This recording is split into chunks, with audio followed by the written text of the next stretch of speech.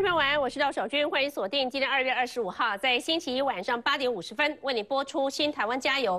首先来自于马来西亚的最新画面了，因为在出访之前已经预告了可能会被打压，可是呢？从跨波吉隆坡市长早餐会喊卡，今天的最新的发展里头，到底又见到了谁呢？韩国瑜的出访控诉打压的真相到底是什么？尤其我们要连线给呃高雄旗山的农民。呃，过去这段时间，我们知道农民对于韩国瑜在这个农业政策方面有诸多的一个期待。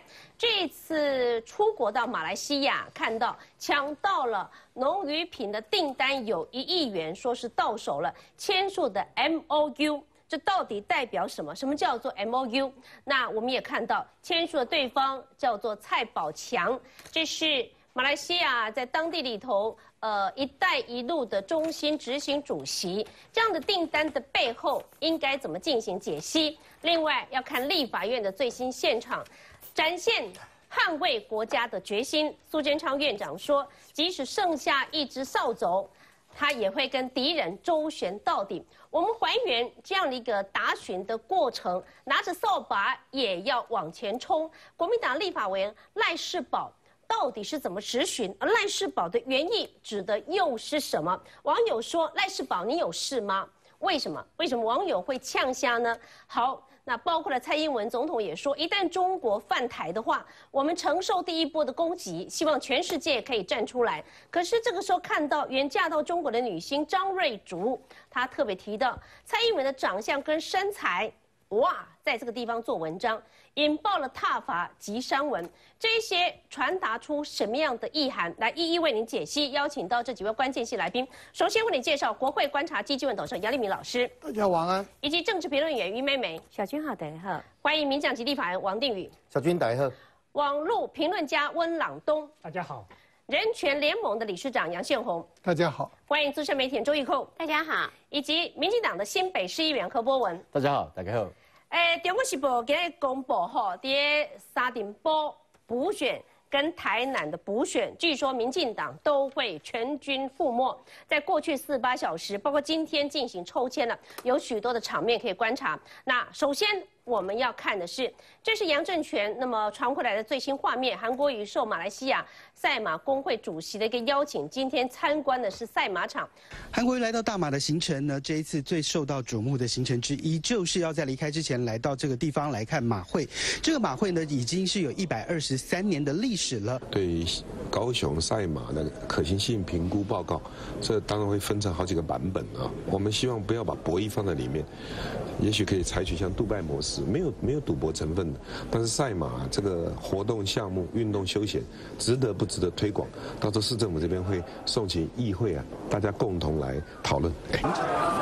路过机场免税店，韩国瑜的大阵仗引来一阵骚动。上任后首度出访，韩国瑜要到新加坡和马来西亚找生意，出发前先画大饼。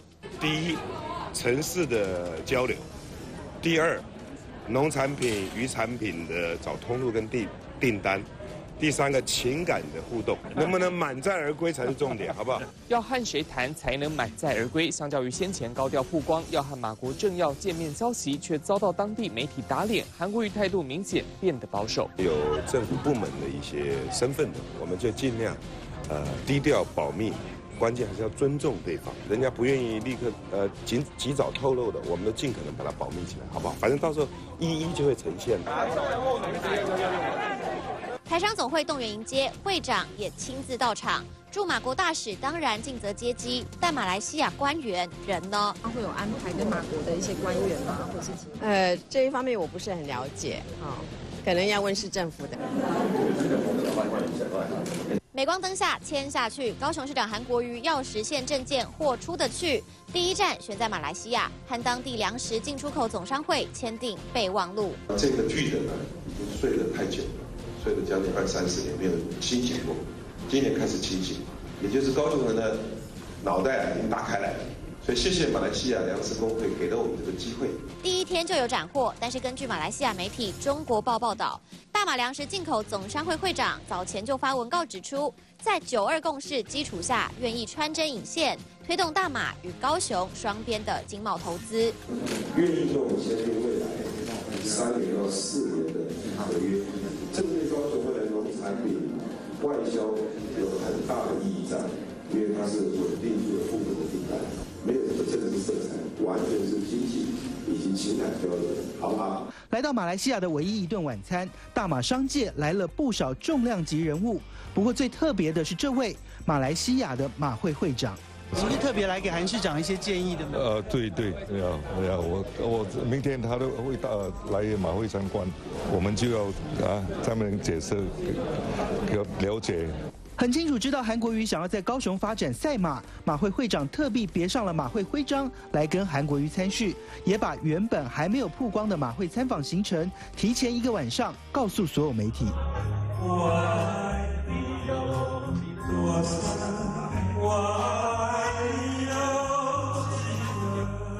酒酣耳热之际，韩国瑜和夫人李嘉芬手牵手，开心的唱起《月亮代表我的心》。原本计划要参访马国夜市的行程，最后也因为下雨而作罢。虽然在马来西亚的第一天，他掀起了一股华人圈的寒流，但是到目前为止，韩国瑜并没有见到任何的马国官员。三立新闻郭俊伟、杨正全，马来西亚采访报道。来出访之前就被打压，我请教授何博文，因为要见了有这个农业部部长嘛，吉隆坡市长，到今天三个国会议员，其实都没有成功。哎，真相是什么？哎，我觉得就是说，这个韩国瑜韩市长他出访哈，然后希望能够推展高雄的观光，然后让台湾的能见度提高，这个部分我是给他肯定的。就是说出访的行程，这当然是非常的辛苦，而且非常的这个繁杂哈。但是我觉得这是韩国瑜市长他出访。跟我们过去所认知的首长出访有点奇怪，有点不一样。这很大的不一样是在于，其实因为我们都很清楚，台湾的国际空间受到中国的打压，所以任何在台湾有一定分量的政治人物要出访的时候，他一定是这样：他如果有相关重要，希望能够会见对方比较高阶层部长级的这个官方代表，或者有任何外交的突破，或者可能有进一步双方经贸的进展，基本上都是会低调再低调。这所谓低调再低调，就是不希不希望见光死，不希望这中间横加阻挠，不希望有任何的外力介入。可是我觉得这次比较让我意外的是说，韩国瑜韩市长他在还没有出访之前，大家回忆一下，大概在二月十一号左右，当时就已经发出这个讯息，说什么？说韩国瑜这次啊出访马来西亚，很可能会见到什么？就是会见到这个农业部长。当时这个消息一出来啊，哗然，大家说哦，那可以见到这个。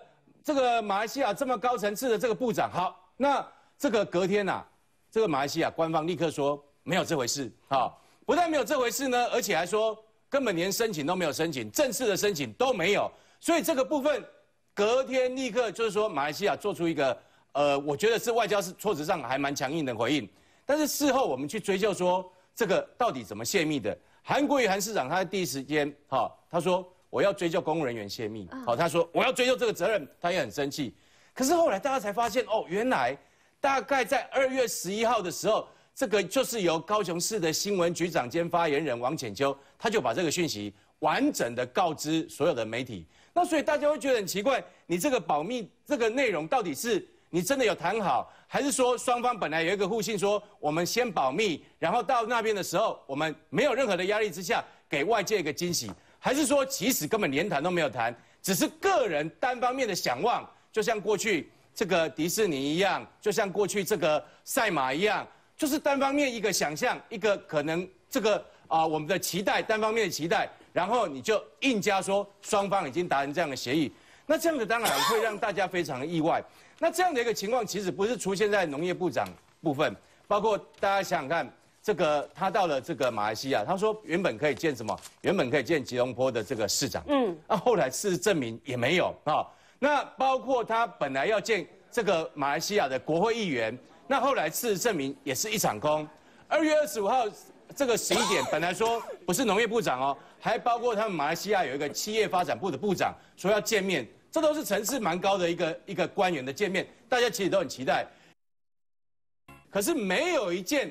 对外宣称所要所跟官方会面的全部都一一的落空，那这个会让大家觉得就是说，第一个，到底是这个事先明明就知道根本不可能，而对这个所有的国人给予这样的一个高度的期待，还是说因为本来是有这样的事情，但是因为你太高调，而且事先曝光，导致马国官方非常不满，把所有的行程一概都取消，这有可能。所以无论如何，我觉得在这个部分。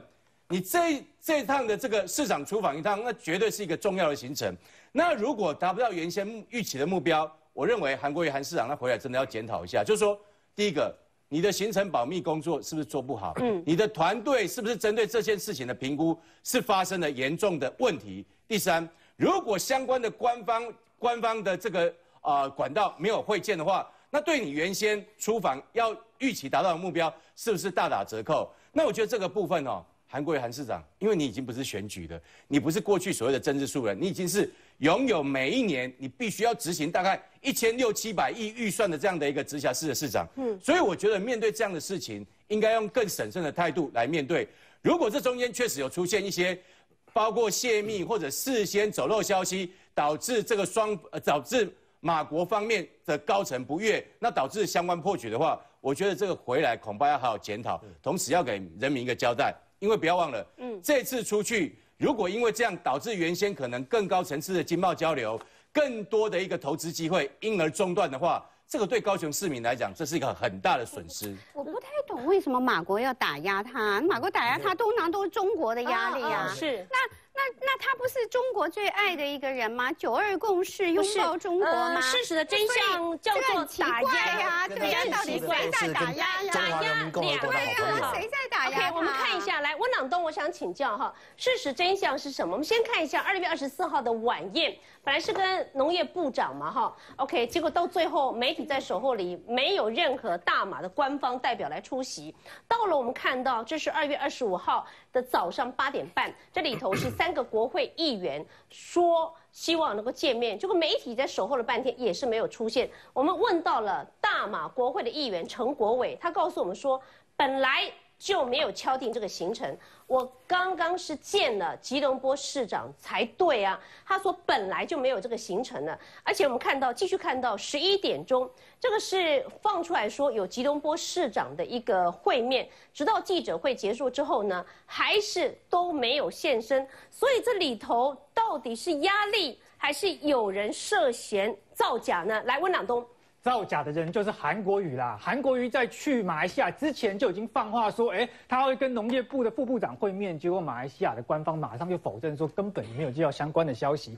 然后到了二十四号，也就是昨天的时候呢，他都去晚宴，然后结果马来西亚官方代表没有出席。韩国瑜包含他的新闻局长王浅秋就说，哦，这个是蔡英文打压，这根本是胡说八道。为什么？因为我看了一下马来西亚那边的这个是东方日报，它这个线上版呢，它标题是什么？韩国瑜原定与大马议员会面。行程临时取消，所以是说呢，他今天早上的时候原本说他想要跟议员会面，议员也没有拒绝他，是他自己不去啊。韩国瑜他自己呢没有去，我不知道是不是睡过头还是怎样了。然后这包含的这里面还访问说，刚刚讲到这个陈国伟是这个马来西亚的首相对华特使陈国伟。他接受访问的时候说，他才刚跟吉隆坡市长见过面，根本就没有约这个跟市长会面的行程呐。所以韩国瑜从出访之前就完全没有跟农业副部长有这个这个会面，然后到了当天晚宴的时候呢，他也没有去约当当地的个议员，然后终于好不容易他今天早上可能约到了，他自己不去。然后呢，这一连串都是他所塑造出来的谎言，然后就要把这个责任推到目前的蔡英文身上，说这是外交部的打压，真的是很难想象啊。那我觉得更好笑一件事情就是说，哦，他呢说这边去推销农产品，当然身为高雄人能够推广高雄农产品当然是件好事。可是我们要看他到底推展的是什么，他签的是一个 M O U，M O U 是什么？就是合作备忘录。那是你在正式订单之前先有一个备忘录，是一个笔记。很多时候你违反这个备忘录呢是没有罚则的，也不代表实际的。订订单金额就是为什么？二零一九年二月二十三号贸易战开打的时候，川普他说美中谈判里面 M O U 无意义，要么就签贸易协议。所以在正式的、真正严谨的外交谈判、商业谈判场合里面，M O U 只是一个开头而已，根本不代表后续的一个订单呐。那接下来的话，我们就整理了一下，发现说，哎，其实这个韩市长他就说什么哦，高雄呢过去睡了三十年，是一个沉睡的巨人，现在终于站起来迎接全世界。高雄没有睡啊，高雄一直在做事，睡的是韩国与你啊。过去成局的一个时代，你会发现说，在二零一三年的时候就已经卖了三千五百箱，那这蔬果到了新加坡。二零一四年的时候，在高雄展览馆这个地方，它总共卖出了三十二艘游艇，价值十亿元，是一个确切成交金额已经有十亿了。二零一八年三月的时候，陈局亲自带队去日本，然后总共卖了差不多两亿元的高雄的枣子。然后所以说到了二零一八年七月的时候，整年度算下来的时候，整个外销金额已经突破两亿了。所以我很好奇的是说，韩市场一个没有完全落实的 M O U 备忘录，金额是一亿。这个过去在民进党执政时期，陈局执政时一直有在做，一直有拓展高高雄的事情。韩国瑜都完全避而不谈，这实在是让人觉得非常难以想象了。那接下来要讲到是说，他去到了这个马来西亚这个地方，然后他就会讲说，哦，这个我们来做一个对比。从中，我今天上网去看的中国评论新闻，就所谓的中评社，嗯，发现是说，哎，柯文哲新闻都没有了，只剩下韩国瑜。那柯文哲去了以色列这件事情也是非常的有意思，因为柯文哲去了以色列嘛，去以色列，然后所以中国的相关的媒体。没有报道柯文哲的以色列新闻吗？没错，而且他说哈，在去了以色列之后，原本要去参去拜会以色列总理啦，可是以色列总理说他有跟普丁有个会，所以不想见。那都是柯文哲的。对，然后这个好像又变成 那个都是民进党。所以说以色列总理去跟普丁有会，外交部施压。对，这个又这个又是中华民国所害的。那我必须在这边必须奉劝一下柯文哲，以色列真的要看什么？要看他们的这个军事武器呀。你看这个军事，台湾军事杂志里面就有，以色列有长钉飞弹，这个由拉菲尔拉菲尔这个公司开。发的由以色列公司所开发的这个飞弹的话，在陆海空包含了反战车都可以去使用，而且已经销到全世界三十几国。所以我要讲的一个重点是说，柯文哲他去访以色列，要看以色列是怎么样子富国强兵，怎么样增加国防预算，不像是柯文哲只会在那边讲，就是说啊，其实台湾撑不了两天呐，台湾能撑多久？这种唱衰式的言论，怎么能够真正的提升台湾的一个国防呢？嗯，那柯文哲已经呢被呢整个中国媒体所封杀，只剩下韩国瑜的新闻不断在跑。可是我必须要说的是，韩国瑜他到底要说谎说到什么时候？今天刚刚在下午的时候，就出现说，哎，有某一家媒体，他竟然报道奥斯卡的最最佳的短片动画影片颁给了这个皮克斯的这个动画，嗯，上面在线说韩流发威助攻，哦，这个包子夺奥斯卡最佳动画短片，除了这个包子的议题，最近是一个关键词，包子夺。这部短这部这部短片叫做《包子》，他得到了奥斯卡他是加拿大导演，加拿大导演韩国瑜的加持。那跟韩国瑜有什么关系？没有关系，你要问那个没有关系，你要问宗教台，不能问电视新闻台。哦，来来来，我我我今天跟你讲，我是觉得先讲以色列这个哈，我一直搞不懂市长层级的去考察国防要干嘛。司马司马昭之心其实很清楚，做总统，我觉得那是他的权利哈。我先讲第一件事情。任何人打压我们台湾出外拼外交、拼经贸的，我们都该谴责打压的人，不管那个人是国民党籍或民进党籍。今天韩国瑜出访，如果有人打压他，我们应该陪着韩国瑜谴责，而且要那个报道的记者，哦，中天的记者交代一下到底是谁打压，交代出来，大家一起谴责打压的人，看看他怎么打压台湾在外面拼外交的人，不管拼外交。拼经贸的人是什么党籍？我们基本态度是这样子。那第二个，我们就来研究说，那韩国瑜到底有没有委屈？谁打压他？我们就把几个演员先找出来了。比方说，这一个叫做蔡蔡宝强，嗯，蔡宝强就是这一次跟韩国瑜签这个一。蔡宝强是边啊杂波接的嘛？哈，对对对对。啊，边啊杂波这一项。这个人叫做这个袁哎裘元平，裘元平是中华人民共和国国务院的主任。哦，是。好，嗯，他跟这个蔡宝强。蔡宝强就这一次哈，用大马就马来西亚这个国家，哎，我先讲一个基本常识，马来西亚用的马华这个华哈，嗯，哎，麦改大金工喜丹吉饼哈，它的华都是指中华人民共和国哈，嗯，蔡宝强代表的是马华非常重要的一个管道，嗯，他是一带习近平“一带一路”在马来西亚推动的执行长，嗯，他是这个中华人民共和国。政协哦，你看哦，新聘的这个中华人民共和国海协会的理事，嗯嗯，海协会的理事，他也是在大马马来西亚。你知道马来西亚他们现在政府并不支持“一带一路”，他很辛苦的要帮助中国推动马来西亚跟印度之间的一带一路相关的基础工程、干粮、水果相关的买卖，就是蔡宝强。那蔡宝强就很明显，他是亲中共的嘛。那蔡宝强跟韩国瑜签了一个一亿的 M O U，我觉得太没有意思了。中中共哦，如果真的是在帮忙韩国瑜哦，他干嘛 M O U 的签合约就好了？M O U 没有买卖哈，我看到很多记者被这个 M O U 带着说，嚯，没几亿啊，没有卖两亿的是陈局，那个是买卖有钱进来的枣子遮啊鸟把航博省哦，这个 M O U 呢？的卖两卖两他亿遮啊的两亿，的卖两亿啊，两亿哦，啊，这是 M O U 达了的几亿，哎，M O U M O U 说，嗯，我可能要跟你买，好，我打算跟你买，要买多少以后再讲，好，这叫 M O U，但有这样的进度，我觉得也给市政府鼓鼓掌嘛，总是一个进步嘛。那蔡宝强会不会打压韩国瑜？不会啊，韩国瑜上过 CCTV 耶、对呀，那中华人民共和国干嘛用蔡蔡宝强来打压韩国瑜？那可能又是另外一个坏蛋哦。那这个人叫做陈国伟。整体字的新闻啊，陈国这这个是南洋的，还有一个东方网。你说这些都是演员啊？你刚刚讲啊？我我介绍的要角哈。好，要角嗯 OK。陈国伟呢？陈国伟是大马的国会议员。那他除了是国会议员以外，他也是一个政党的党主席，很重要的人物。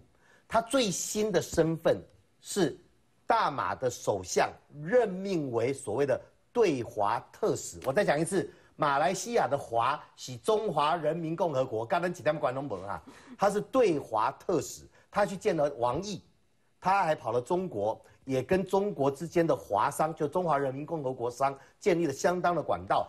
今天他既然作为特使，他跟中国的关系不会很差嘛？那这个人会不会打压韩国瑜？我们就来看了。新闻这么来了，有一个新闻台，我现在讲造谣的不能叫新闻台，造神的是不是叫宗教台？我也不晓得。这个台呢，就拍了，拍了之后就说，哎，看到王浅秋跟韩国瑜在那在俄语，那做做做做做俄语什么呢？哦，说哈、打压再打压我包子也不会被他打压，意思就是韩国瑜到马来西亚的行程被中国被大陆了，他用的词是大陆哈，被中国跟蔡政府双重打压，哇，这不得了！台湾跟北京合作打压韩国瑜，韩国瑜真的是宇宙无敌大天神呢。共产党跟民进党我一起打压他。那打压他什么呢？说哦，他有一个参会要见这个陈国伟这些国会议员，做要见这个吉隆坡的市长呢，哎，可能会因为这样打压不成行。嗯，那就很怪了。所以《东方日报》就去问了陈国伟，说：“哎，有人影响你不要见韩国瑜吗？”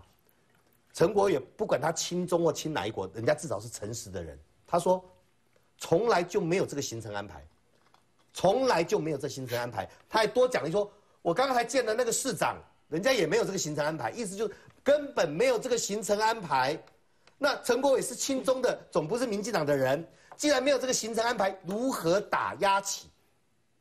怪就怪在这里，从头到尾都没有这行程安排。那你去看那个晚宴上面的媒体哈，哦，说什么各界媒体蜂拥而至，请大家去看一下那个新闻报道的麦牌，麦牌哈都是你读得懂的，意思都是台湾的媒体，好，所以这一个去制制造出来所谓的打压，到底谁打压讲不出来，因为陈国伟不会打压，这一个蔡宝强也不会打压，那到底谁打压？那如果蔡真的有打压，假设有打压这个事情，民进党政府有能力要马来西亚的国会议员跟首都市长听命行事，而且这些人过去是清华就亲中的，哇，那是不得了的新闻啊、我们台湾它无无无限大。今天柯文哲去以色列，以色列总理本来要接见所有与会的市长，那这总理呢临时有事去见了普丁，一定很重要的事情，那是另外一条国际新闻。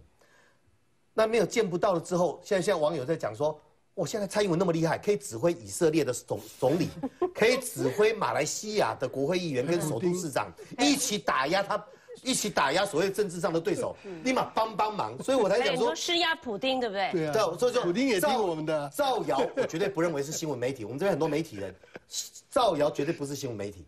那造神是不是新闻媒体？那我就打一个问号。嗯，那我最后要讲一个笑话，就是这种操作模式太容易了。我本来跟那个博文这个下午没有要来录小军的节目，我们两个去见川普，国民党不要打压我们，中共不要阻挠我们，否则就是一切他们害的，我们就见到川普了。是这一看我就用得力。温朗东本来还要约某某很有名的电影女明星要去泡泡汤，那现在因为呢，这个政党的打压，所以汤就泡掉了，没办法泡了。这种操作是把人民的判断力踩在脚底下。嗯，我不相信高雄的人的判断力这么低，我也不相信台湾的人民判断力这么低。但是真的有某些台，你打开之后，每十五分钟 六则新闻都在做这样子的事情的时候。我有时候在想想说，到底是我一个人逆着高速公路逆向行驶，嗯，还是有人逆向行驶？我们已经无法判断是非了。那如果是这样，就想到最近，因为各家电视台都做这个报道嘛，哈，叫做不顾北京的反对，蔡英文寻求连任，应该是不顾北京的反对。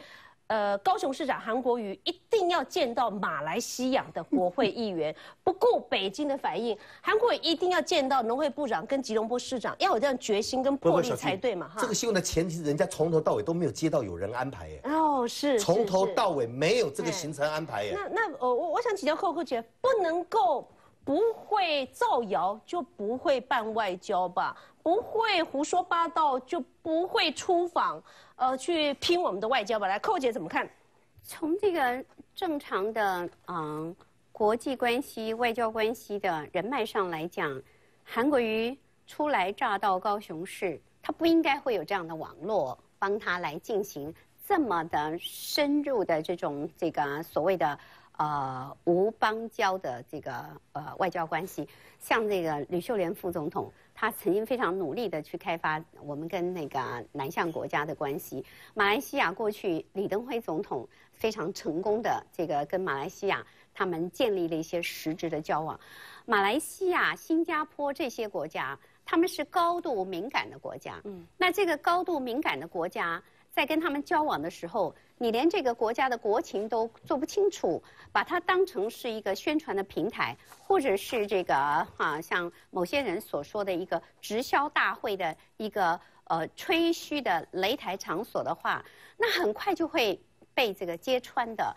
这件事情，我觉得它的正面的这个发展跟我们的启发就是。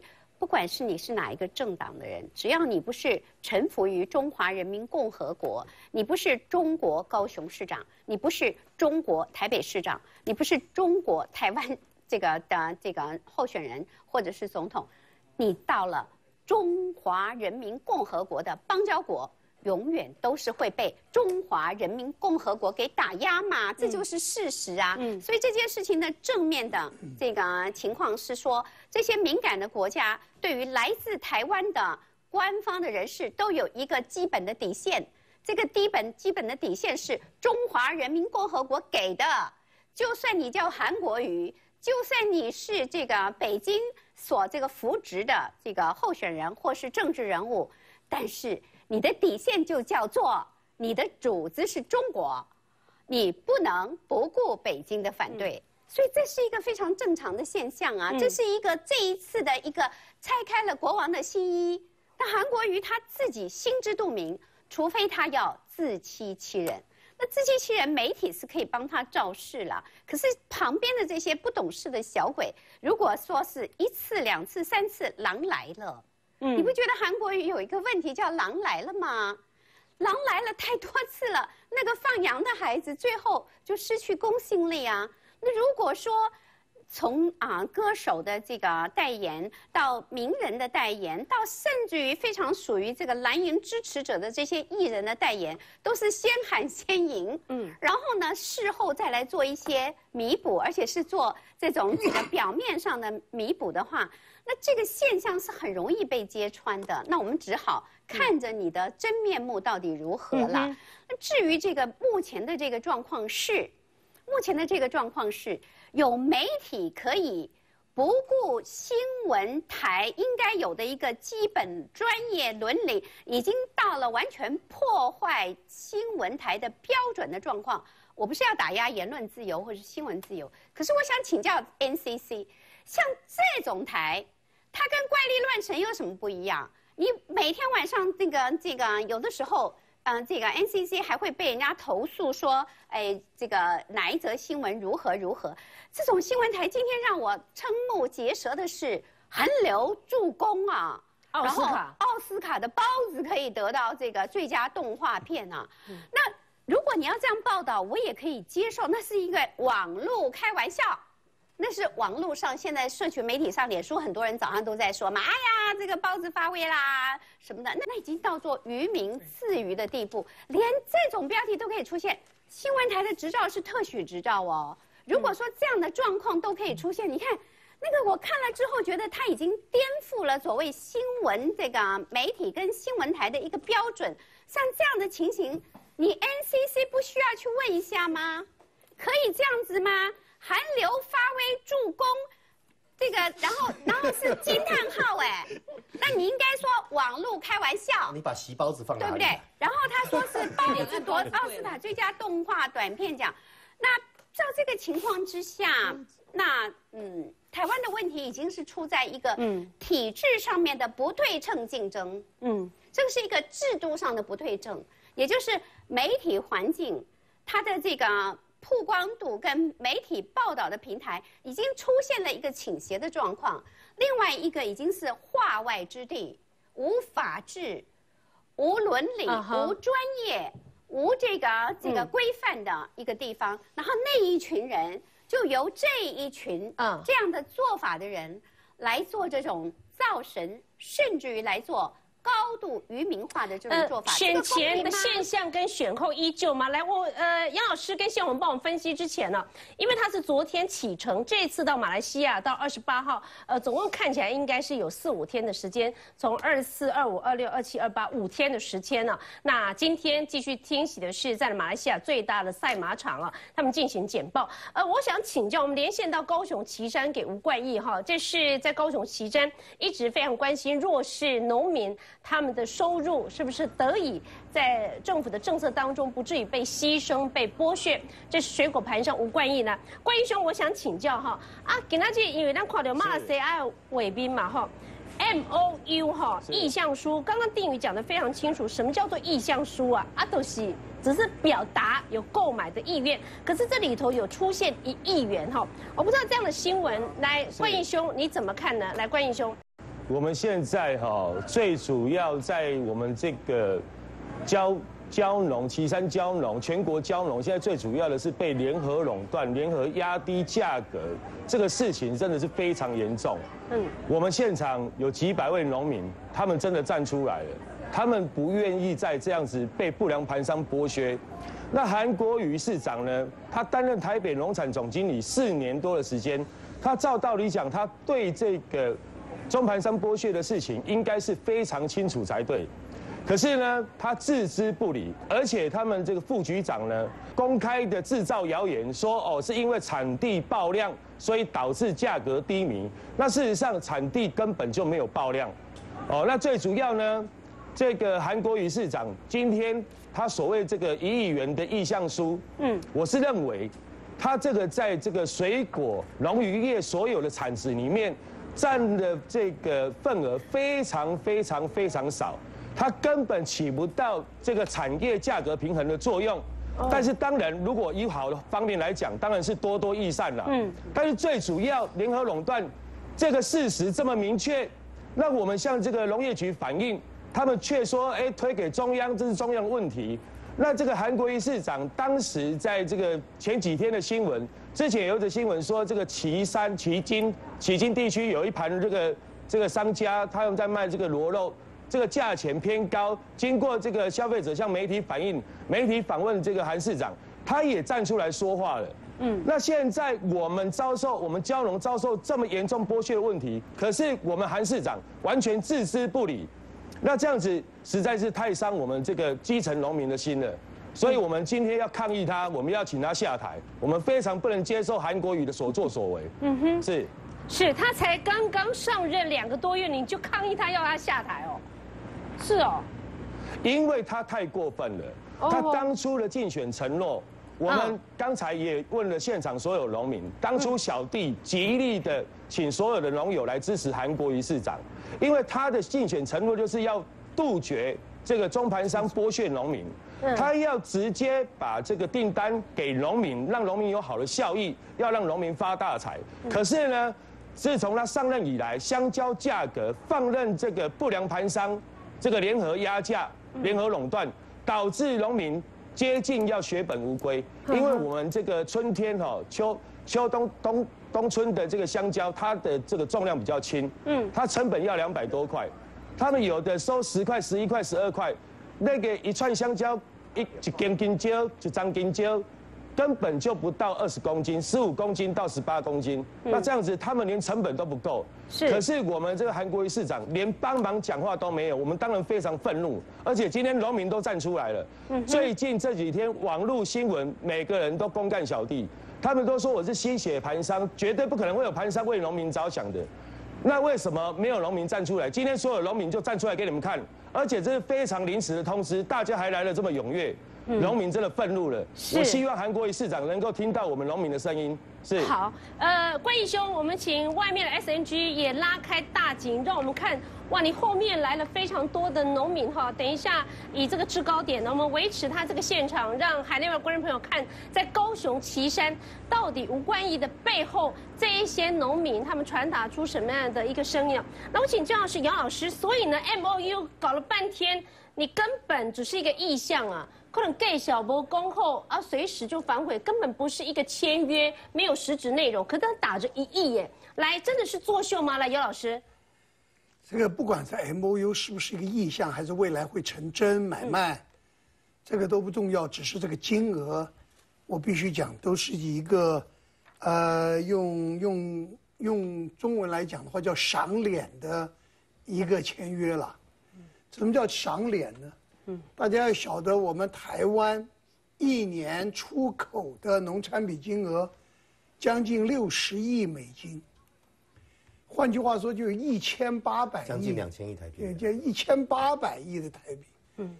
你想想看，一亿在中间只占了。你是说我们的外销一年一年水果就有五十七亿美金？就是差不多六十，将近六十亿美金了。因为今年希望能够达到六十亿。那就有真的新台币一千八百亿。一千八百亿，一千八百亿，它只签一亿的金额，一千八百分之一。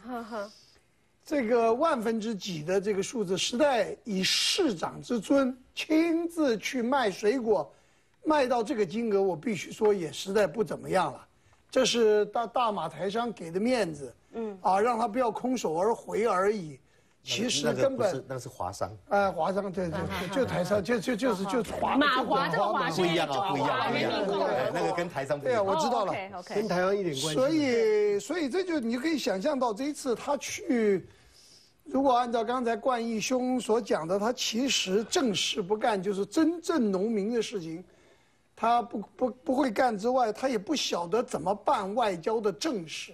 嗯，这个外交出访有一定的程序的。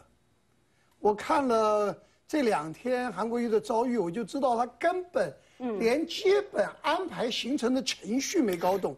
第一个程序要透过外交部跟驻马的办事处来 confirm 行程，这个最基本的尝试他都没有做嘛。好好。这是很明显，他没有透过中央外交系统，特别是大马办事处。你从一个接机，你就可以看得出来。嗯，你从一个接机就看出来，他出出错。那个接机，全部是刚才大家讲的华商代表了，我叫台商代表。华商，华商代表，就中国商人了啊。对，那华侨了，华侨商人。那这个这个这些华商代表，他一个政治人物没见。官员没见，这别吉隆坡市也没有任何人来接待，他连政党代表都没有。就像他本来要见的，嗯，这个民主行动党的主席，嗯，陈国伟，这个民主，呃呃，民主行动党啊，它是一个社会社会民主政党，它其实对台湾有相当多的议员非常友善的，嗯。啊，我自己就接待过啊几个这样子的议员，他其实对台湾有一些人是非常熟悉的，就算有几个议员出来接待也是非常正常的事情，居然全部都没有，是没安排，不是人家不接待他，对啊，不是就不就表不是，显然安排想要安排没成嘛，嗯哼，根本没成，这是不可思议的一件事情，因为这这种安排其实非常简易的，嗯，因为政党的代表或议员的层次。是完全不涉及中央的政治，所以没有打压中国打压的问题，连这个都都见不到，这就表示他安排本身就是一个出了一个大状况嘛。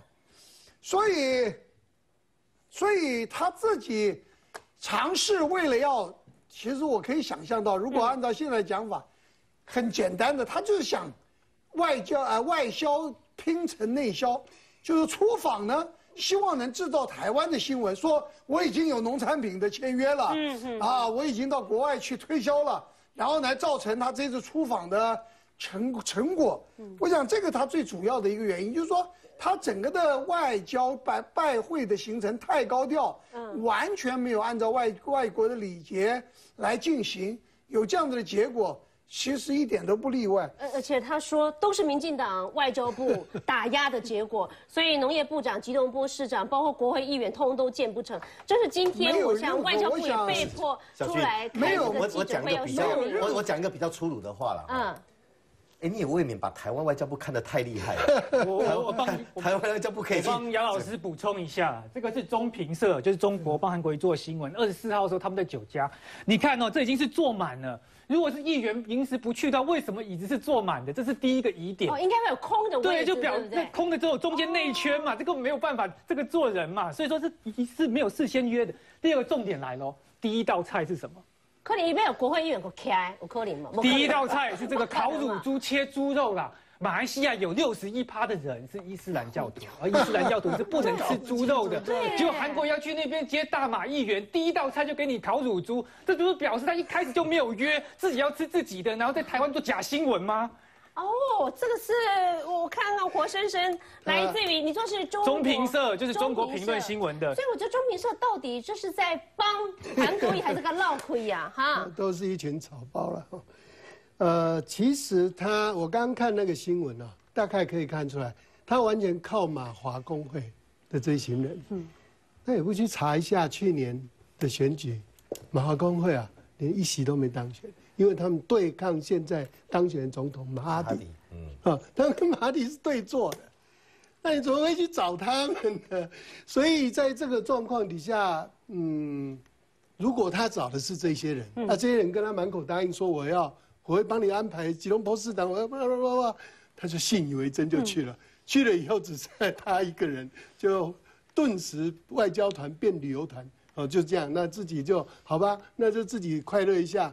呃，因为已经不可能做任何安排了。哦，好好。他发生的第一个错误就是你怎么会去找马华？嗯，这个在在在在那个吉隆坡，在马来西亚已经是四维的一个势力了，怎么会去找他？嗯，好。那因为看刚看到画面，看到他顶多就是跟马华的人在一起嘛。啊，那马哈迪“一带一路”的计划不要忘记，他退掉中共对。马来西亚的投资，一带一路的，而且赔了钱，愿意赔钱把一带一路赶出马来西亚。嗯，所以一带一路的人在在在马来西亚根本就是空心大老官，没有任何意义哈。这个是我们要注意。那接下来韩国也可能根本搞不清楚这个状况，就一头栽进去。这个马华人跟他讲这些事情，所以现在传出说根本就没有安排啊。很可能就是你找错人了，那卡吹唔漂亮，卡电话卡机当然无被修啊。哦，这是一个。第二个，姚老师讲那个很重要的重点，他现在啊，两个月下来，因为我们也去看过高雄啊，照他这样搞下去，高雄就是一个更老、更穷的城市，好不好？他们是说台高，因为他没有任何方法把高雄拉起来嘛，哈。嗯。照他的定义说，又老又穷。我要告诉韩国瑜说，照你的搞法，更老更穷。好，就这样。那这时候有一个问题，他是要把吉隆坡又老又穷，可是都可以登上奥斯卡的最佳动画 短片。以及国外艺人已经变笑话了。不，你要注意哦，这个是外交大忌哦。你你出访之前就是大啦啦讲说我要去拜访谁拜访谁，嗯别人感觉你要把我当人形立牌，你要把我当成。嗯，帮你摇旗呐喊的背角，是你哪根葱啊？这这不不会见你的。就说如果你这样大张旗鼓，我我我认为哈，是。定宇也是常常处理外交人。我们在处理这些外国的见面的过程里头，我们必须让这些外国的我们要去拜访的对象，感觉到说我们去是对他有利的，嗯哼，能够他在人家也是政治人物，在地，结果到最后变成帮台湾的一个痞子市长当人形立牌，是，他还要继续选市长吗？当然不会嘛。我们去就是要安排，为什么要透过外交部？为什么要透过更真正的朋友去安排的过程里头，要告诉这些人说，我们来了以后是两利，是 win-win 的 structure。结果现在我韩国瑜他的处理是什么？I win, you lose，是是别人输，然后我赢的模式，谁会见你啊？这根本不可能啊！来何博文，我是这样看啊，我觉得这个我实在想不到为什么他要这样固步一阵哦。事实上，故一阵，我认为这是这这让我感觉是固步一阵嘛。因为其实这个部分就是说，你透过正常外交管道，至少说马来西亚在驻台的不管相关的这个代表或经贸办事处，他们有接到相关的这个官方行程安排。嗯，那这个部分就是可以透过外交部来协调。那成不成，我们再动用私下的管道去接触都可以。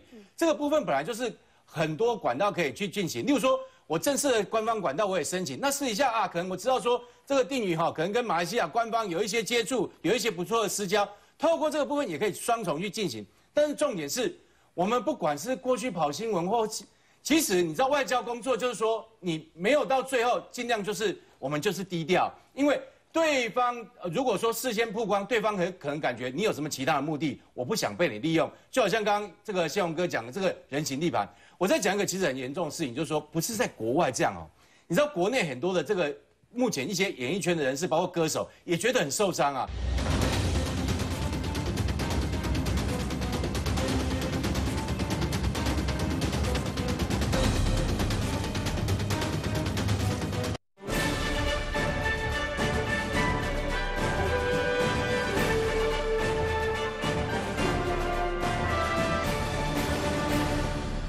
来讲，我不要举说哪一个，就说一个很当红的女歌手，嗯，好，她之前也被说啊，她可能是高雄市的这个未来的代言人，好，这个当红的女歌手，她知道这个讯息之后，也没有没有人来跟她接触啊，然后事后高雄市政府还放一个消息说，哎呦，那要花大钱，我们不要了，哇，这个对那个女歌手来讲是很伤害很大。第一个。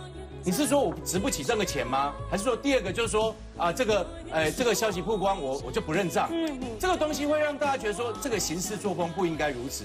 所以我觉得其实这次的出访，当然我们很期待，不管是经贸外交方面有一些突破，这对台湾都是好。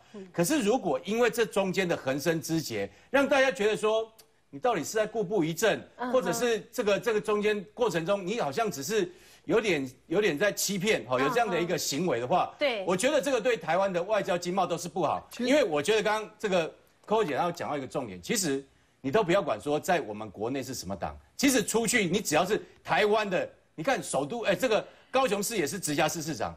以这么高的一个官方的层级出去，其实他不会管说我在你国内选举，我可能要挺你哪一个人。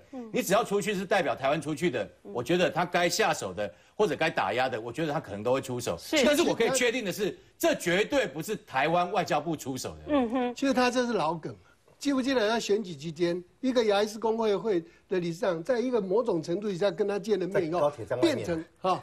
变成挺他，然后后来人家公布说我并没有挺你，他说我体谅你的难处，我体谅你的难处啊，这个民进党打压。哦。来了老梗了。是，如果是中国所青睐、所重视的一个高雄市长，甚至可能会逐大位二零二零的总统候选人的话，中国的势力。其实，在马来西亚一定远强于我们嘛，你应该好好拉他一把才对啊！怎么会定下一个一亿 M O U？其可能根本没有订单的一个订单，你们怎么可以这样？